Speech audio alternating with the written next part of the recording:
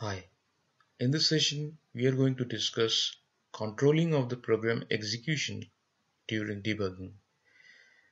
That is basically the use of step over, step into and step return in Eclipse debugging. So let's go to Eclipse, open a simple program called debugperson.java In debugperson.java, we have a simple main method and few lines of code. So let me first explain this program and later on while we are going to debug this program, we would understand the usage of step over, step into and step return. So inside main method in line number 11, we can see a class data_util is used over here and its method getPersonData is invoked and data_util.getPersonData in turn returns a list of person objects and this list is named as person list. So line number 11 retrieves a list of person objects from a method called getPersonData of data_util. In the next line, that is line number 12, the specific person list is printed. In the next line, that is line number 13, similarly, another utility method inside data_util called getPersonMap is invoked and this particular method called getPersonMap returns another map object which has integer object as its keys and person objects as its values. So this key value pair comes from data_util.getPersonMap method. And in the next line, that is line number 14, this map object, that is person map, is printed in the console using sysout. So overall, this is the structure of the program.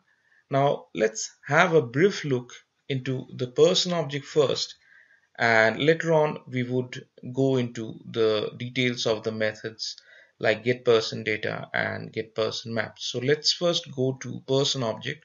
So go on top of person object select control and click on person. As we can see over here the person class is a pretty simple pojo kind of class with three fields string name int age and string country and it has a public constructor which takes these three parameters and assigns them uh, to these fields. So overall that is the structure of person and it has also has its uh, getter and setter methods. Those are not important at this point of time. So let me close person.java now we would have a brief look at get person data first and then get person map. So let me go to get person data. So click control and click this particular method.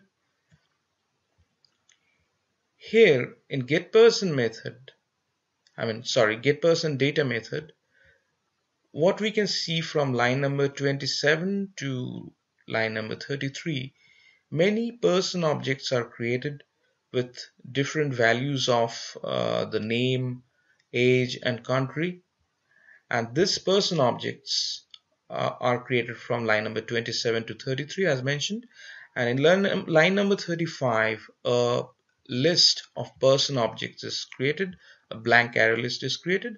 And finally all these person objects are added to this list object. And finally that person list is returned. So it's a pretty simple method which creates few person objects, adds them to a particular list, and finally returns that list of person objects. Now just below get person data we have get person map method which is also used in debug person. In line number 46 and 47 we can see two person objects are created. In line number 48 a hash map is created which takes integer as its key and a person object as its value. And in line number 49 and 50 what we can see 1 and 2 is entered as the key. And this person object called Steve is entered uh, put into this map as value object against the key of 1 and this person object called Martin is put as the value object against the key 2 in line number 50 and finally this map object is returned back. So if I close data util overall we can understand what is the structure of debug person.java uh, what are the functionalities of these methods and um, what is the structure of person object. So things are pretty clear now. Now we can focus on debugging so let me put a breakpoint just uh, at the end of this program say at line number 14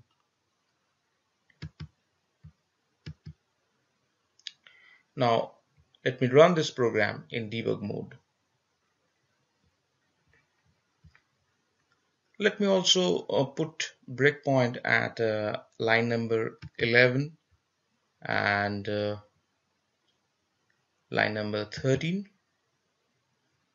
and run this particular program in debug mode. So what I can do right click debug as Java application.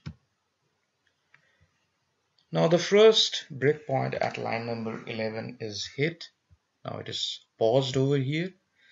So let's go to the top and we have three very important buttons step into step over and step return. Step return is right now disabled.